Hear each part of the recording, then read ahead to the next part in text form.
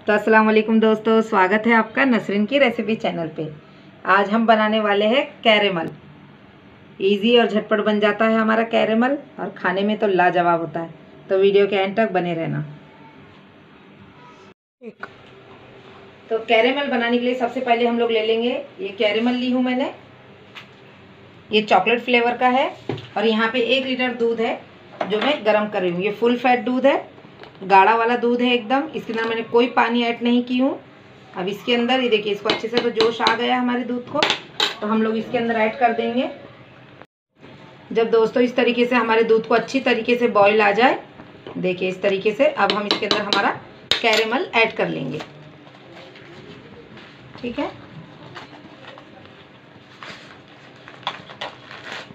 ये देखिए, इसके अंदर दो पैकेट आते हैं। ये लिक्विड है। ये हमें इस कटोरी के अंदर जो भी बाउल में या कटोरी में आप ले रहे हो, उसके अंदर हम लोग ये बिछा देंगे पहले। लिक्विड ये शुगर लिक्विड आता है और ये कैरेमल इसके अंदर कैले कैरेमल का पाउडर और शक्कर साथ ही में। तो आप इसके अंदर अगर आपको इससे ज़्यादा शक्कर लगे, चाहिए मिठास ज़्यादा ही में तो आप ऊपर से भी शक्कर ऐड कर सकते हो। मैं इसके अंदर थोड़ा ये डाल देती हूँ। ये देखिए, इस तरीके से हिलाते हुए मैं इसके अंदर ऐड कर रही हूँ। हमारा कैरेमल थोड़ा गैस स्लो कर देंगे।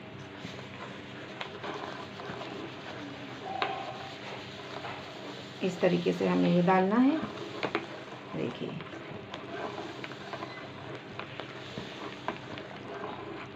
अच्छी तरीके से चलाते हो इतनी प्यारी खुशबू आ रही है चॉकलेट्स की, माशाल्लाह।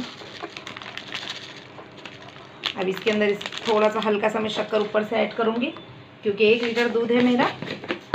थोड़ा मीठा कम हो जाता है इसलिए। आधा चम्मच रख रही हूँ मैं शक्कर एक्स्ट्रा डाल रही हूँ अगर आपको लगे तो आप डालिए या तो ना डालिए, आपकी मर्ज़ी है। अपने टेस्ट के हिसाब से ये कीजिए। इसको और एक बार मैं जोश आने देती हूँ, तब तक मैं इधर कैरेमल अपनी सब कटोरी में ऐड कर दूँगी। हल्का हल्का डाल देंगे हम लोग इसी तरीके से।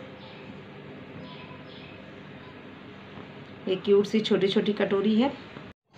तो देखिए मैंने अच्छी तरीके से इसमें सब में डालती हूँ। अब हम इसी के साथ में गैस बंद करते से ही, ये देखिए, ऐसे ही गैस बंद करते से मैं अब इसके अंदर हमारा जो कैरेमल था वो उल्टी कर देती हूँ।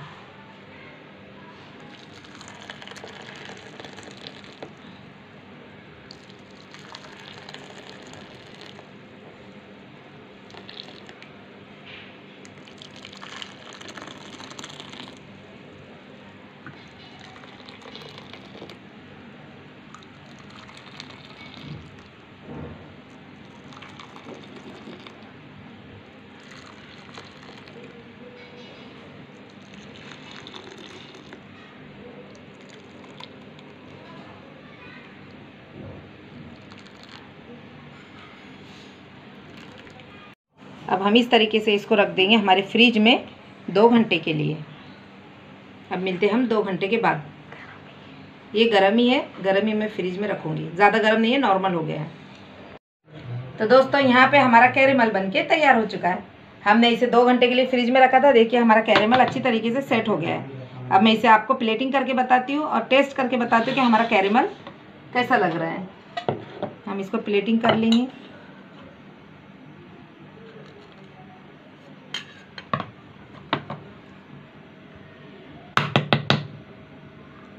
बिस्मिल्लाह ओहो, देखिए, माशाल्लाह हमारा कैरेमल निकला है। अच्छी तरीके से सेट हो गया है। बहुत ही प्यारा।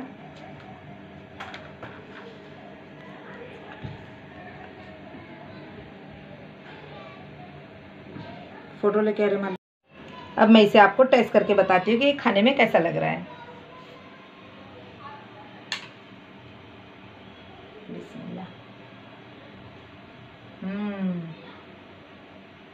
बहुत ही माइंड ब्लोइंग हमारा कैरेमल बन के तैयार हुआ है। किसी आइसक्रीम से कम नहीं है और आइसक्रीम से भी ज़्यादा टेस्टी है। तो आप ये रेसिपी ज़रूर ट्राई कीजिए। मेरी रेसिपी को लाइक कीजिए कमेंट्स कीजिए शेयर कीजिए।